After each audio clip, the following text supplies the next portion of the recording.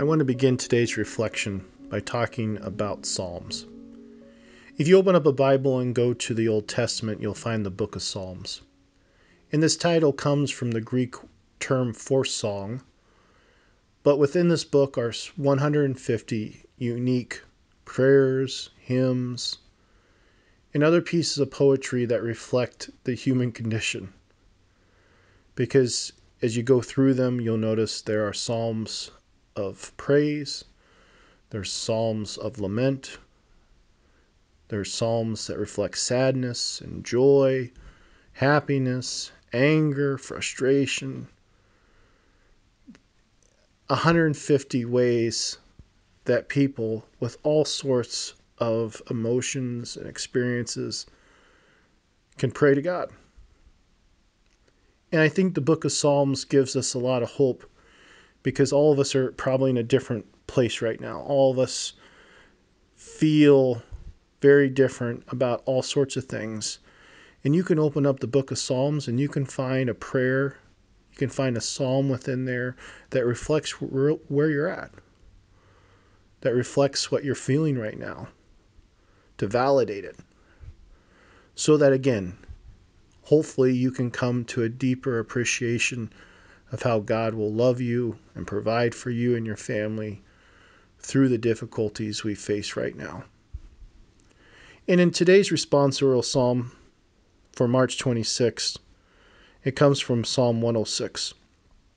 And the refrain is Remember us, O Lord, as you favor your people. Remember us, O Lord, as you favor your people. In this phrase from Psalm 106, I think gets to where maybe many people are at. Lord, do you remember us? Lord, are you out there? God, do you know that we're kind of in a tough spot here? And it's a re- it's a real feeling. It's a real reality. But as I said about the Psalms is is that they are a reflection of where we're at as people. But all these Psalms are meant to call us into deeper relationship with God so that we can come to know His love, His grace, His peace more fully. So, again, it is okay for all of us to feel whatever we're feeling. In fact, again, you can go to the book of Psalms and find something that will help you to even validate what you're feeling. But as we open our hearts and minds to God in a very truthful and honest way, know that He's calling us to a deeper relationship with Him.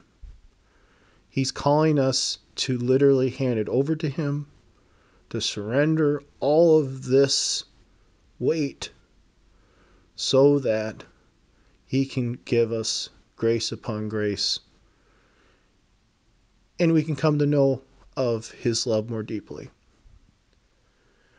But a couple things. One is is that sometimes I think in prayer we almost in a sense believe that God doesn't know, like I can hide things from God.